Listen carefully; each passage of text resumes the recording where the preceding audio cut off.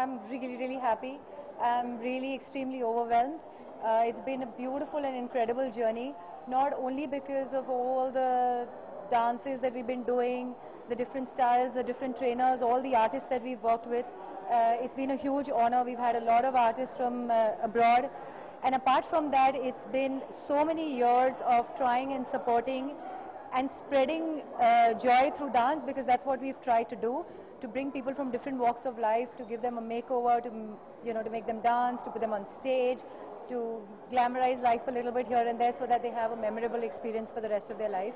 And uh, I'm really happy because they've all come back at the end of 10 years and they're all going to be on stage together this time. So uh, I'm really looking forward to this. Yes. Yes I think it's really, really kind of them to be here. Uh, it just shows that, uh, you know, for something that, that makes a difference in somebody's life, people from all walks of life uh, are willing to be there. And uh, Siddhartha has an extremely busy schedule. His mum is my mentor, my guru, my guide. I've learned all my dance from her. And I'm really, really happy he's here.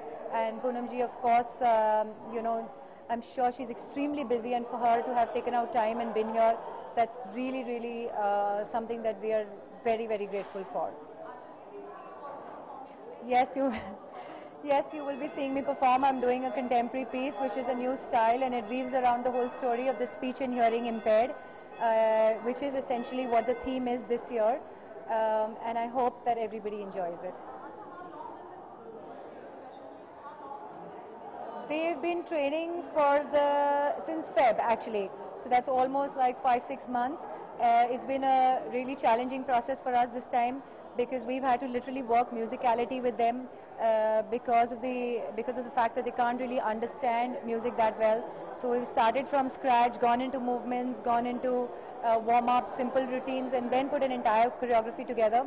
Uh, the trainers have worked extremely hard, have been extremely patient, and uh, I think they've done a phenomenal job. Thank you so much. Thank you.